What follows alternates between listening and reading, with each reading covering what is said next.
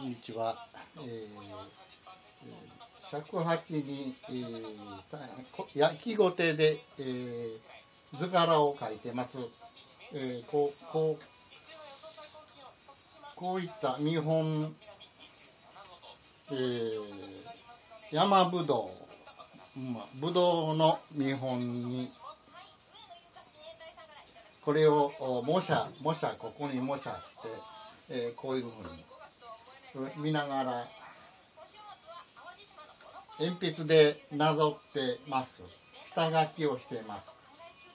ね、で、消しゴムで消したり、書いたりして、えー、こういったあ尺八を固定する道具を使って、えー、こういう具合に書きます。ねえー、詳しく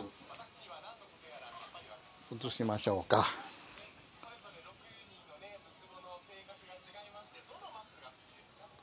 えー、こういったこういった日本を、えー、尺八に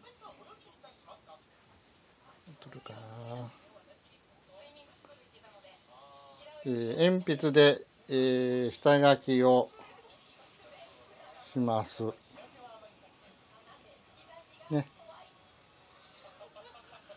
鉛筆で下書きをしますね。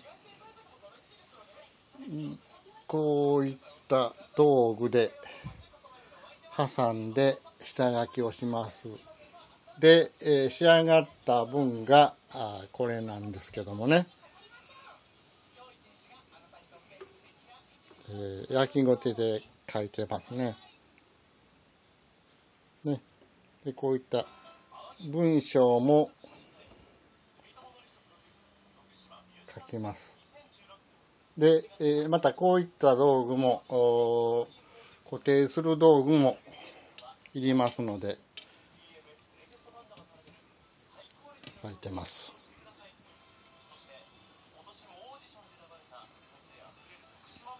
ね、こういう具合に書きます。